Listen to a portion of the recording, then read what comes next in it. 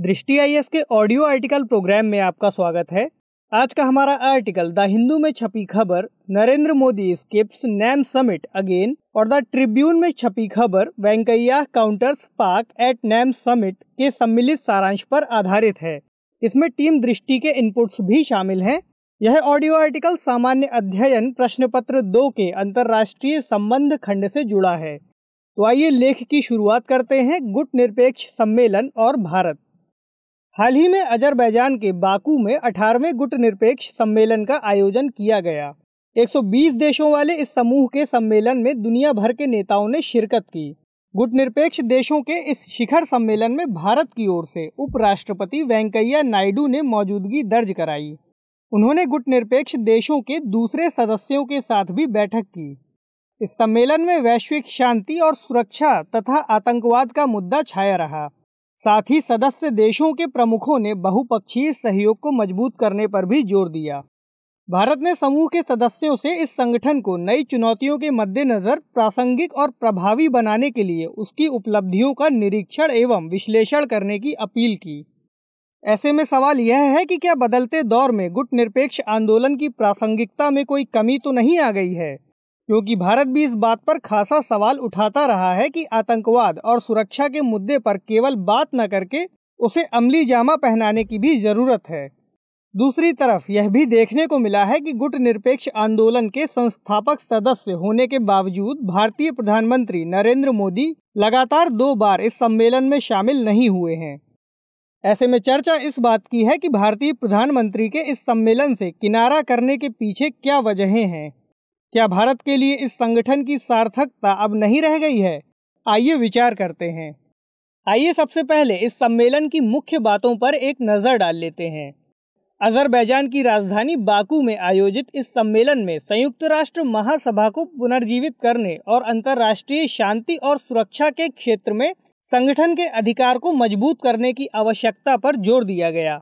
सदस्य देशों के प्रमुखों ने संयुक्त राष्ट्र चार्टर, अंतर्राष्ट्रीय कानून और प्रासंगिक अंतर्राष्ट्रीय सम्मेलनों के सिद्धांतों के अनुसार आतंकवाद का मुकाबला करने में गुट निरपेक्ष आंदोलन की एकजुटता को मज़बूत करने के प्रयासों पर बल दिया। सम्मेलन में जलवायु परिवर्तन के बढ़ते प्रतिकूल प्रभावों के बारे में चिंता व्यक्त की गई, जो गंभीर रूप से गरीबी उन्मूलन और सतत विकास प्राप्त करने की दर को कम कर रहे हैं। विशेष रूप से विकासशील देशों पर जलवायु परिवर्तन के बढ़ते प्रतिकूल प्रभावों पर चिंता व्यक्त की गई। इस दो दिवसीय शिखर सम्मेलन में तमाम सदस्य देशों और अंतर्राष्ट्रीय संगठनों के गणमान्य व्यक्ति और प्रतिनिधि शामिल हुए। भारतीय प्रतिनिधि मंडल की अगुवाई कर रहे उपराष्ट्रपति वेंकैया नायडू ने कहा कि गुट निरपेक्ष आंदोलन ने वैश्विक शांति और सुरक्षा के संवर्धन में और करीब दो तिहाई मानवता की उम्मीदों को दुनिया के सामने रखने में अहम भूमिका निभाई है। ऐसे में यह भी जानना अहम है कि गुट निरपेक्ष आंदोलन की पृष्ठभूमि क्या रही है और इसके क्या उद्देश्य हैं। दरअसल द्वितीय विश्व युद्ध के बाद दुनिया साम्यवादी सोवियत संघ और पूंजीवादी अमेरिका के बीच बटी हुई थी। इस समय दोनों गुट एक दूसरे से मुकाबला करने के लिए सामाजिक प्रणालियाँ और सैनिक गुट तैयार कर रहे थे। यही वह दौर था जब दुनिया के बहुत सारे देशों को उपनिवेशवाद से आज़ादी मिली थी।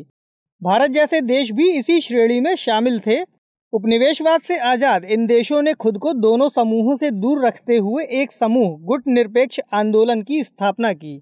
गुट निरपेक्षता की पहल 1955 के बांडुंग सम्मेलन के ज़रिए की गई, जिसमें भारत के तत्कालीन प्रधानमंत्री जवाहरलाल नेहरू, मिस्र के राष्ट्रपति अब्दुल नासिर इंडोनेशिया के राष्ट्रपति सुकर्णो जैसे नेताओं ने महत्वपूर्ण भूमिका निभाई। गुट निरपेक्ष आंदोलन की आधिकारिक स्थापना 1961 के पहले बेलग्रेड सम्मेलन में हुई थी। मौजूदा वक्त में गुट निरपेक्ष आंदोलन संयुक्त राष्ट्र के बाद दुनिया का सबसे बड़ा राजनीतिक समन्वय और परामर्श मंच है। इस समूह में 120 विकासशील देश शामिल हैं। इसके अलावा इस समूह में 17 देशों और 10 अंतर्राष्ट्रीय संगठनों को पर्यवेक्षक का दर्जा प्राप्त है। यह एक अद्वितीय समूह है जो हर सदस्य देश को बिना किसी भेदभाव के वैश्विक और राजनीतिक प्रक्रियाओं में निर्णय लेने में सक्षम बनाता है। आंदोलन का नेतृत्व एक अध्यक्ष द्वारा किया जाता है जो हर तीन साल में बदल जाता है।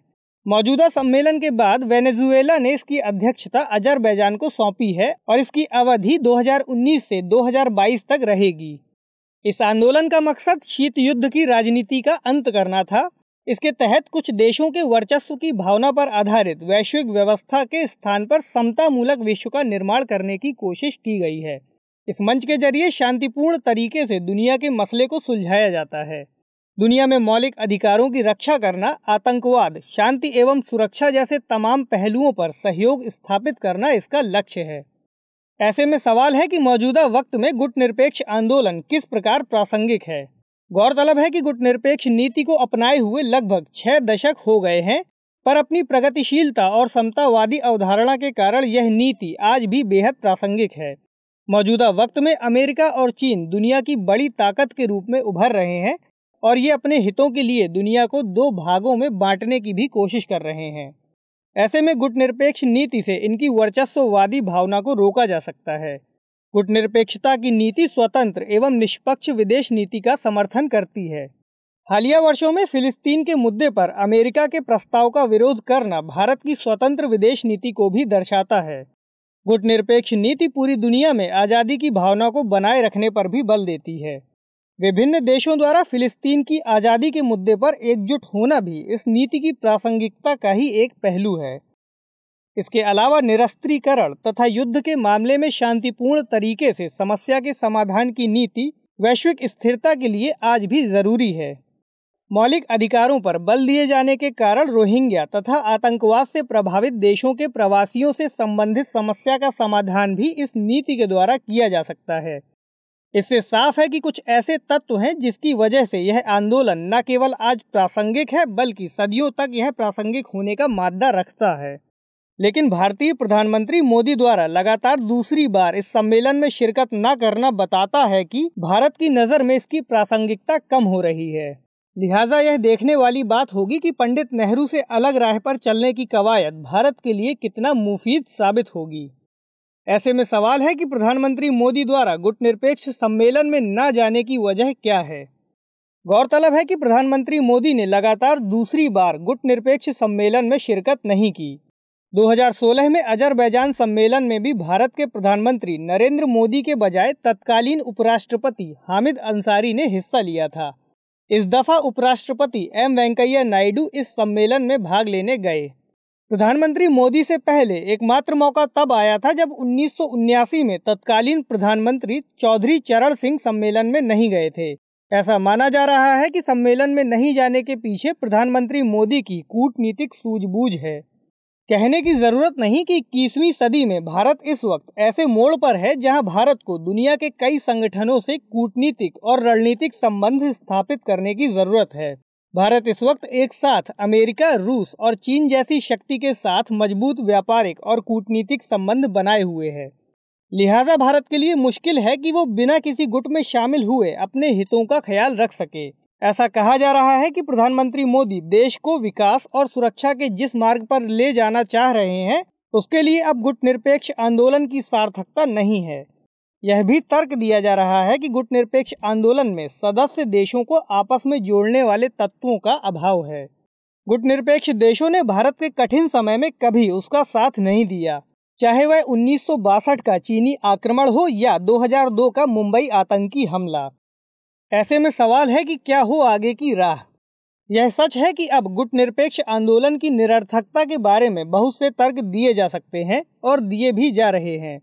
लेकिन कुछ बिंदु ऐसे हैं जिन पर विचार करने से पता चलता है कि इसकी सदस्यता बेमानी भी नहीं है। पहली अहम बात तो यह है कि यह संगठन किसी देश के व्यक्तिगत उत्थान में कोई अड़चन पैदा नहीं करता है। इसके सदस्य देश खुद के विकास के लिए फैसले लेने को आज़ाद हैं।